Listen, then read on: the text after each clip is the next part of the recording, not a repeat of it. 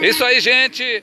TV e Rádio Web diretamente aqui no Itabocal. Souzão, estamos aqui com o técnico da equipe do Fazendinha, aonde conseguiu ganhar por 2 a 0 a equipe do Guarani do Santo Antônio. Um jogo difícil. Observamos que no primeiro tempo o time que começou bem, teve mais chance, mas o time do Guarani conseguiu também em alguns momentos botar impor a dificuldade. No segundo tempo também teve um pouco, mas depois o time se pôs. Difícil para chegar onde chegaram nesse placar aí, Danilo? Ah, sim, né? Primeiramente, boa tarde a todos. É, agradecer a oportunidade, agradecer a Deus. É, acho que tudo na nossa vida é, é, em base disso, né? Deus em primeiro lugar. Eu acho que as coisas começam a, a, a funcionar. Ah, o campeonato é difícil, cara. Entendeu? O campeonato é difícil. Eu acho que de todas as, as, é, as edições da, da, Copa da Amizade aqui do Tom, esse é o campeonato mais difícil que a gente tá, tá tendo. Né? Mas acredito assim que a gente, a gente teve um jogo parelho, né? Achei que a gente foi. Teve grande, grande chance de abrir o placar e sair na frente logo.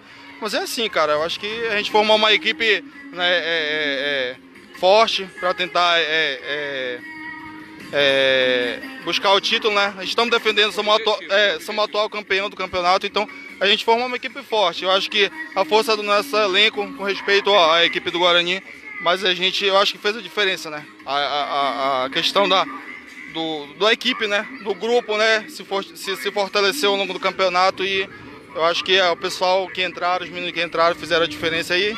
Graças a Deus deu tudo certo. Com a sua experiência, né, Danilo? Então é isso aí, Danilo. Parabéns. Vamos aí às semifinais. Vai chegando, né? Isso aí. Parabéns para você. Então é isso aí, gente. TV e Rádio Web aqui no Souzão da Cobra Amizade. As quartas de finais começando quentíssima aí.